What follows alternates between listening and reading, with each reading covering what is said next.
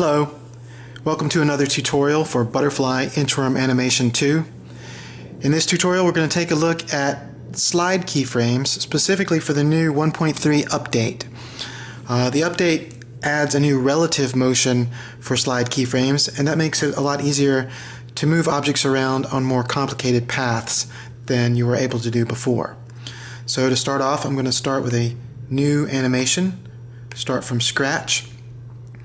And I'm just going to draw a little simple face shape and we're going to move this thing around.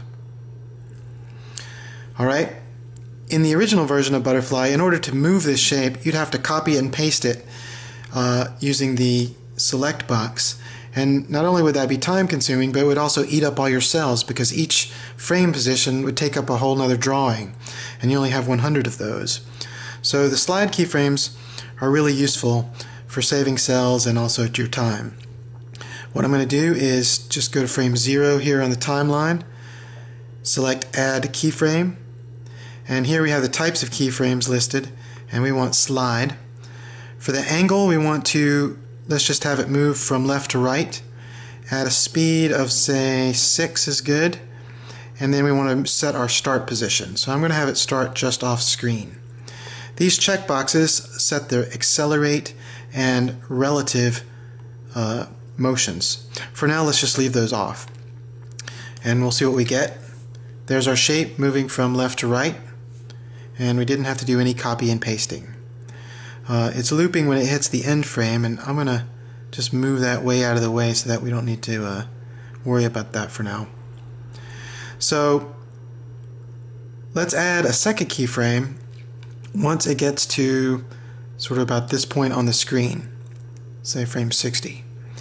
Now, what we want to do, we're going to add a keyframe and say we want it to move upward now, like that. All right, let's see what that looks like. We're playing, and then when it when it gets to move upward, it doesn't really do what we expect.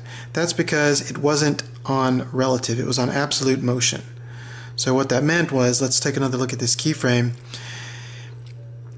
it started negative 300 along this axis. So if I bring this back to zero, you'll see it. There's our starting point. It was basically acting like we were completely starting from scratch again.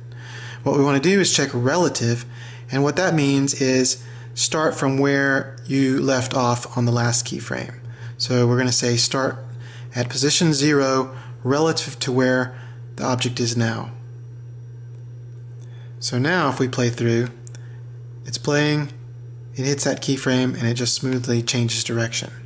Let me change the time scale so you can see those two keyframes. So there's the first keyframe, it hits the second keyframe. Alright, let's do that again just so you can, so it's a little clearer. So we're going to add a keyframe, we've got relative positioning, and then now we're just going to change the angle. So we're going to go back out in this direction. Alright, so now we'll start. Hits that keyframe, hits that keyframe. So we can just do as many of those as we want. Let's have it go back up this this way, and we'll like make the speed faster. And then let's try go up here, add a keyframe. We'll have it go back down, and when it gets back down here, let's do one more thing. I'll show you what the accelerate checkbox does. So for this one, we'll go back to moving left to right and we'll use a slow speed, say speed of 2 or 3, and we'll check accelerate. And what that means is that it starts from a standstill and slowly increases speed. So it gets faster. Um, so now let's play through the whole thing.